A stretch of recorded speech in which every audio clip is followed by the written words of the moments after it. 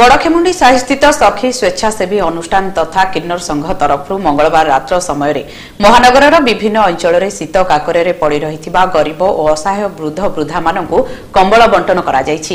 କିଛିଦିନ ଧରି ଲାଗି ରହିଥିବା ପ୍ରବଳ ଶୀତରୁ ରକ୍ଷା ପାଇବା ପାଇଁ ଏପରି କାର୍ଯ୍ୟକ୍ରମ ହାତକୁ ନିଆଯାଇଥିବା ଏଠାରେ ସଖୀର ମୁଖ୍ୟ ବାବୁଲା ସୂଚନା ଦେଇଥିଲେ। ରେଳ ଷ୍ଟେସନ ଓ ନୂଆ ବସ୍ଷ୍ଟାଣ୍ଡରେ ଏପରି ବୃଦ୍ଧ ବୃଦ୍ଧାମାନଙ୍କୁ କମ୍ବଳ ବଣ୍ଟନ କରାଯାଇଥିଲା।